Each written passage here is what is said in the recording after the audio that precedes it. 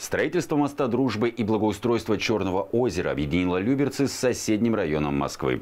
Рядом с водоемом на смотровой площадке на улице Камова состоялась первая межсубъектная выездная администрация.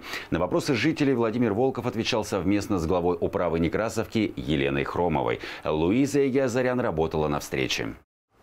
Уже несколько месяцев жители микрорайонов Зенина и Некрасовка наблюдают за работой строительной техники на Черном озере. На водоеме активно идет строительство моста. Уже завершены работы по отсыпке дамбы между двух берегов. Забурено 14 свай из 86. Полностью приготовить основания для последующей установки мостовых опор планируют к середине октября. Дальше начнутся монолитные работы по возведению свай моста, подпорных стенок, ну и дальнейший этап формирования формирование мостовой конструкции, ну и как бы следующий этап строительства.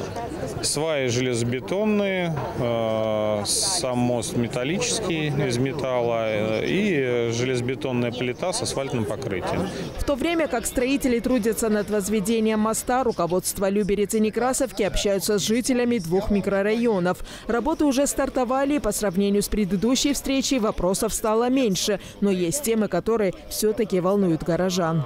Сейчас наше озеро Черное выглядит как озеро, разделенное на три независимых озера за счет этой дамбы.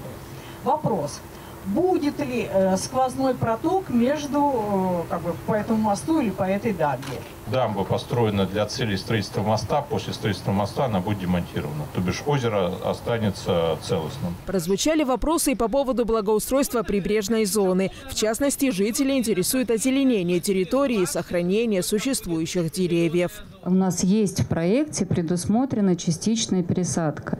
Но когда мы говорим про поросль, это, собственно, то, что подлежит расчистке. Вот то, что, например, мы сейчас вот здесь видим, вот я вижу только одно дерево, да, два максимум. Остальное это поросль. Поэтому давайте мы будем отделять. Более того, когда мы говорим про то, что предусмотрено озеленение, мы говорим про большемеры.